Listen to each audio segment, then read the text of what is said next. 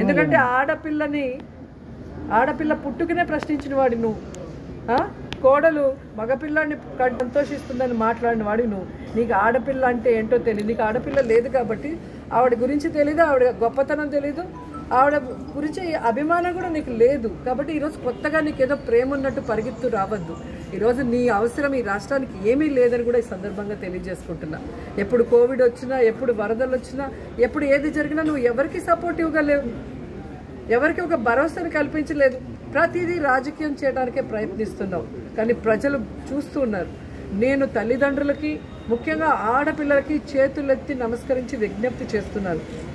మీరు బయటకు వెళ్ళినప్పుడు మీకు ఏమాత్రం అనుమానంగా ఉన్నా లేదా మిమ్మల్ని ఎవరైనా అనుమానాస్పద ఏరియాలకు అంటే ఆటోలు ఎక్కుతారు కార్లు ఎక్కుతారు వెళ్ళినప్పుడు ఏదైనా మీకు డౌట్ ఉంటే ఇమీడియట్గా దిశ యాప్ని యూజ్ చేయండి.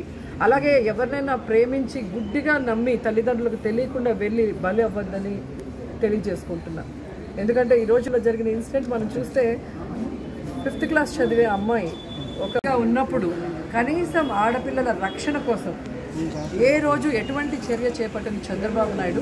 జగన్మోహన్ రెడ్డి గారిని మాట్లాడటానికి ఏం అర్హత ఉందని నేను మాట్లాడుతున్నాను ఎందుకంటే మొన్న విజయవాడలో ఆయన కార్పొరేటర్గా కంటెస్ట్ చేసిన వాడు తన ఫ్లాట్స్లో ఒక అమ్మాయిని లిఫ్ట్లో వేధిస్తే అమ్మాయి సూసైడ్ చేసుకుంటే కనీసం ఆ కుటుంబాన్ని పరిశ పరామర్శించడానికి రాని చంద్రబాబు నాయుడు ఈ రోజు ఎందుకు వచ్చాడని నేను అడుగుతున్నా. రాజకీయం చేయడానిక ఆ, ఉన్మాదులు అంటారు. జగన్మోహన్ రెడ్డి గారిని ఆ పార్టీలో ఉన్న వాళ్ళని ఉన్మాదులు ఎవరయ్యా బాబు? ఉన్మాది అంటే నువ్వు.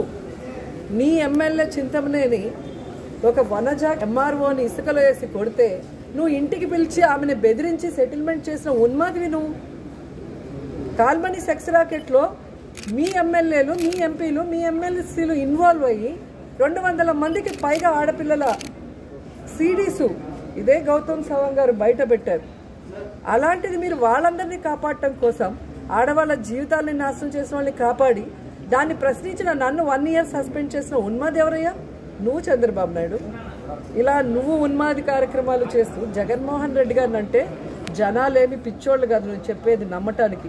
ఎందుకంటే నీ హయాంలో నువ్వు అధికారంలో ఉన్నప్పుడు ఎక్కడ ఏ ఇన్సిడెంట్ జరిగినా ఆడపిల్లల మీద అఘాయిత్యాలు జరిగినా రేపులు జరిగినా అన్నీ కూడా నీ పార్టీకి సంబంధించిన ఎమ్మెల్యేలో ఎమ్మెల్సీలో ఎంపీలో కార్పొరేటర్లో లేదా కార్యకర్తలో క్లియర్ కట్గా ప్రతిదీ కూడా ప్రూఫ్తో వచ్చినా కూడా నువ్వు ఏం చేసావు? ఎవరినైనా ఒక్కరినైనా శిక్షించావా? ఏ రోజున ఆడపిల్లకి అండగా నిలబడ్డావా? కానీ జగన్మోహన్ రెడ్డి గారు ఆడపిల్లని గౌరవిస్తున్నారు రాజకీయంగా పైకి తెస్తున్నారు వాళ్ళకి భద్రత ఏర్పాటు చేయడానికి ఎన్ని రకాల కార్యక్రమాలు చేస్తున్నారో మనం కళ్ళారా చూస్తున్నాం. అవి మీరి ఎవడైనా ఒక ఉన్మాది ఇలాంటి కార్యక్రమం చేసినప్పుడు ఇమీడియట్గా ట్వంటీ ఫోర్ అవర్స్లో వాడిని అరెస్ట్ చేసి వాడిని కోర్టుకు సబ్మిట్ చేస్తున్న విషయాన్ని మీరు గమనించాలి.